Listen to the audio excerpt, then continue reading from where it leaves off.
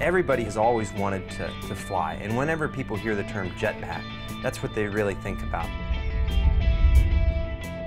So what we've done is we've reduced the amount of force. We're not able to fly with our jetpack, but we have instantaneous thrust, and we can pretty much trigger it to allow, you know, for faster movements, agile motions, and so forth.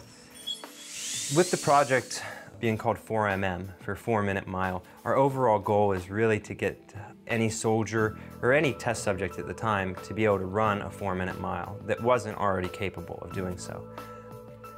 Well, I started doing this research kind of by accident. The team at the time was just at the infancy of this project. So they initially came to me because I owned a welding business and was also a student here at the university.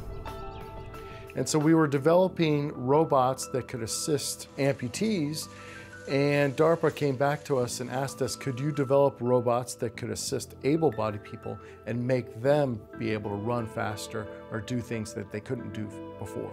And from there, things just kind of clicked because I was really interested in the robotic process. So the fact that I could work on designing something and then turn around and weld up a prototype the next day or even same day really reduced our overall time as a lab on, on getting ideas from concept to prototype.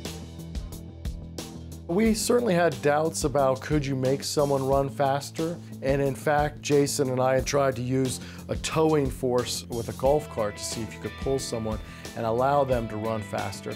So I personally ran around a track and then decided that yes, with the correct pulling force, you could get someone to run a four minute mile. But the problem is, how do I apply those forces? Do I apply the forces on the trunk, or do I design an exoskeleton that applies forces at the hips and ankles? But the more that we've kind of researched into it and, and, found out potential applications, we found that in a warfare type arena, this could be potentially the difference between life and death. If you think of, you know, a, a Navy SEAL or, or an Army soldier that has to get in somewhere quick and uh, do whatever they got to do, but maybe get out of there just as quickly. So these devices can really help soldiers to not only accomplish their goals and, and succeed in their missions, but potentially save human lives as well.